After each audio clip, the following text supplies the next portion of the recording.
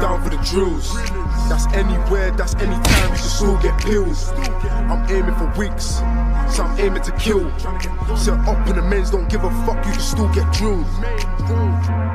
All I wanna do is crush that porn. My niggas them told me make peace we go to war. I said fuck that, I wanna drill nine, then drill some more. Smoke my man in the face, yeah that point got scored. Couldn't give a toss about law. Niggas no CP.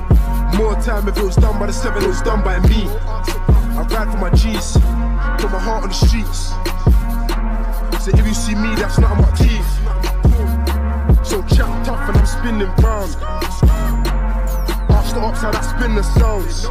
When I spin the banks, try and know that's a nigga down. And where I'm from, we always know to keep things around. All the risks that the team be taking. That's why my nigga Nero's money. Hi all, it's Lozz D, Punch Out TV. How you all doing on this Saturday afternoon? Uh, just a quick video, nothing special. Uh, Joe Joyce, Big Joe, is fighting tonight against uh, an opponent from Germany called Michael Wallisch. Uh, Big Joe's age 34, out of the UK. He's 10 and 0 with 9 KOs. Uh, he's fighting Michael Wallisch of Germany. He's 20, uh, lost 3, and 13 KOs. And he's been KO'd three times himself. Now, this is just a stepping stone in the long awaited fight that a, a, a lot of people want to see, including me. Fighting Daniel Dubois, that's been postponed twice due to the coronavirus. This is the first step towards that long awaited fight. So Big Joe's fighting him tonight. Same age, age 34. Joe's uh, one inch taller than him at six foot six. Michael Wallisch is six foot five and six foot five. Um, Joe's got a three inch reach advantage, 80 inches over 77. So there's not a lot in it. Michael Wallisch got more experience. Uh, should imagine Joe come out and flatline this guy, but you never know. This is boxing.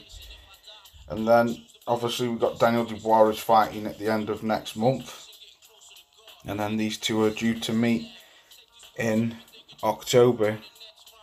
Uh, possibly could be a banana skin for one of them. Can't really see it myself.